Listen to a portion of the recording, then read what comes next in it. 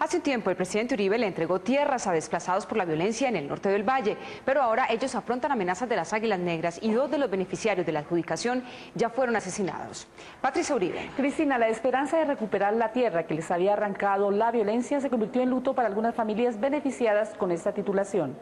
Julio César, muy complacido en saludarlos, para entregarle a Odelis Soto Así el 24 de diciembre de 2004 el presidente Álvaro Uribe le entregó a 20 familias igual número de títulos provisionales sobre tierras en Anserma, norte del Valle. Sin embargo, la Fundación Nuevo Amanecer, que agrupa víctimas del paramilitarismo en el Valle, denunció que dos líderes campesinos que recibieron el título fueron asesinados por las Águilas Negras al servicio de narcotraficantes del norte del Valle. Julio César Molina Grajales ya venía con unas amenazas y el 13 de mayo fue asesinado. El señor Odeli Soto desaparece de los predios de la Germania el en, en el mes de noviembre del 2007 según la fundación, el INCODER entregó las fincas La Germania, Indiana, El Edén y Túnez, 547 hectáreas de tierra para que cultivaran y vivieran allí. Sin embargo, asegura que esas fincas siguen en poder de los familiares del narcotraficante Albeiro Monsalve, capturado en los Estados Unidos y mano derecha de Hernando Gómez Bustamante, alias Rasguño. ¿Por qué el presidente Uribe fue entregó unos terrenos